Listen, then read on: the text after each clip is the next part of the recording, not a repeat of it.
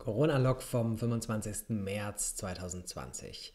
Ich hatte euch gefragt nach Tipps zum Bandbreite sparen und in diesem Video gibt es die Top 10 davon zusammengefasst.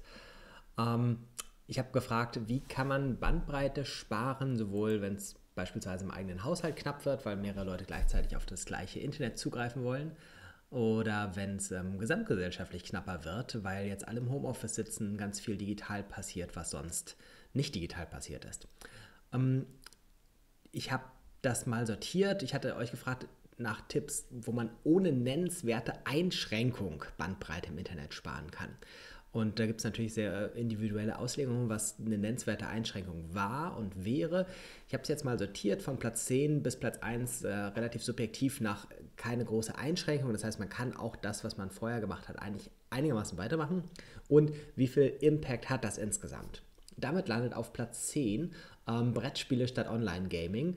Ähm, guter Vorschlag, äh, wird aber für viele eine nennenswerte Einschränkung sein.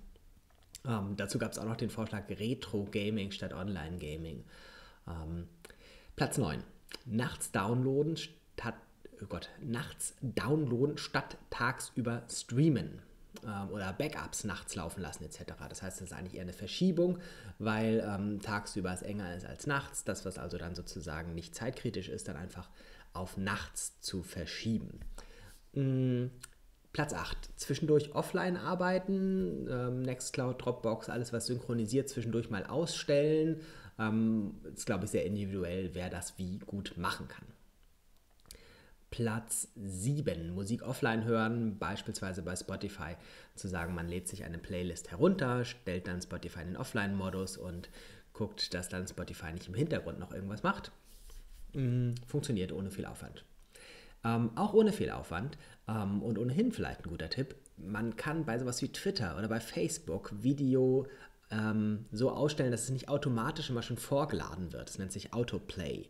Das heißt, man guckt einfach in den Einstellungen und guckt, ob man das da deaktivieren kann. Dann kann man immer noch die Videos gucken, die man gucken will, aber man lädt nicht schon Videos runter, die man gar nicht angucken will.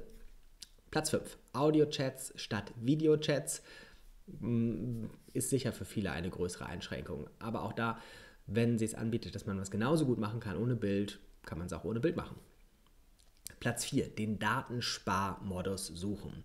Den gibt es in verschiedenen Browsern, zumindest in ähm, mobilen Varianten des Browsers, also auf dem Handy, ähm, auch in Betriebssystemen auf dem Handy. Man kann einfach mal sein Betriebssystem oder den Namen seines Browsers eingeben und Datensparmodus dazu eingeben und äh, findet dann über die Suchmaschine der Wahl sehr schnell äh, Tipps und Empfehlungen, wie das geht. Das kann tatsächlich sehr nennenswert Einsparungen bringen. Äh, ich glaube, auf dem Desktop, wenn ich das richtig weiß, äh, ist dass eigentlich nur Opera, was da richtig viel ähm, Einsparung bietet. Mobil ist es viel einfacher oder viel verbreiteter. Drittens, ähm, das gab mehrere Einreichungen äh, über verschiedene soziale Medien, die dazu kamen. Ähm, sowas wie Radio oder Fernsehen oder Filme muss man ja gar nicht über das Internet gucken. Es gibt ja auch noch sowas wie Fernsehen über, weiß ich nicht, Satellit oder Kabel oder sowas. Muss man natürlich aufpassen, dass da nicht auch das Internet hinten dran hängt. Aber in vielen Fällen ist es ja so, dass das noch ähm, über die Luft gefunkt wird oder ähnliches. Ähm, viele von euch haben vielleicht auch noch DVDs. Ähm, auch da ist natürlich die Frage, was ist eine nennenswerte Einschränkung, aber beispielsweise äh, Tagesschau gucken geht ähm, in den meisten Haushalten auch noch über Kanäle jenseits des Internets. Zweitens, Musik nicht als Video hören. Mm, das ist ähm, etwas, was ja tatsächlich sehr verbreitet ist, Musik über YouTube hören. Es geht da, muss man vielleicht nochmal ganz klar sagen, äh, nicht um ein bisschen ähm, Einsparmöglichkeit. Also wenn ich ein Video über YouTube gucke äh, und eigentlich nur die Musik höre und das Video wird aber geladen, ähm, dann geht es um sowas wie, weiß ich nicht, ich schätze mal 20 Mal mehr Traffic, was es verursacht, gegenüber wenn ich tatsächlich nur die Musik höre, was ich auch über andere Kanäle machen kann.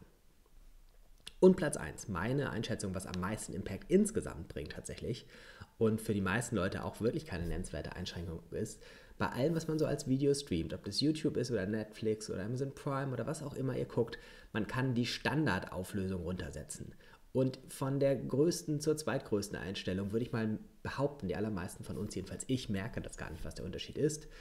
Und ich habe bei mir beispielsweise bei YouTube die Standardauflösung, ich glaube, auf 360 runtergesetzt etc. Das reicht irgendwie für mich auch in 95% der Fälle vollkommen aus, beziehungsweise ich gucke gar nicht äh, genauer hin und merke es dann erst irgendwie zwischendurch mal.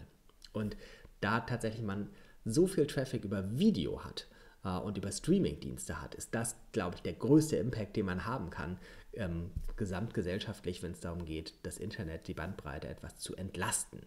Also Video und Streaming sind, glaube ich, überhaupt die großen Killer, ähm, die ganz viel bringen. Nicht umsonst diskutiert man ja in der Schweiz schon darüber, ob man Netflix und Co. tatsächlich abschalten müsste oder ob Netflix freiwillig die Bitrate runtersetzt oder sowas. Ähm, das ist sicher auch was, was, was hilft als Argumentationshilfe, wenn das jetzt nicht nur euch, die irgendwie Videos im Internet gucken mit so seltsamen Leuten, die vor der Kamera sprechen, sondern auch, dass, keine Ahnung, euren Eltern oder Kindern erzählen wollt oder sowas. Meiner Erfahrung nach hilft die Argumentation relativ gut, dass man sagt irgendwie, naja, wenn du jetzt bei der Bandbreite etwas sparst und Netflix in der nicht besten Auflösung guckst, dann kann das vielleicht dazu helfen, dass du morgen überhaupt noch Netflix gucken kannst. Soweit. Vielen, vielen Dank an alle, die äh, Tipps geschickt haben. Äh, Daniel Seitz habe ich mir aufgeschrieben, Ed S. Bar Müller, Jürgen Ertelt, Ralf Appelt, Mino Mund, Birgit Wintermann. Was auffällt, ähm, es hat einen erstaunlich hohen Männeranteil. Ähm, auch Männer dürfen jetzt das Video noch kommentieren, aber für Frauen würde ich mir es doppelt wünschen. Korrigiert alles, was ich falsch oder zu vereinfacht dargestellt habt, ergänzt, was fehlt und äh, vielleicht, was ihr auch selbst machen könnt. Bis bald.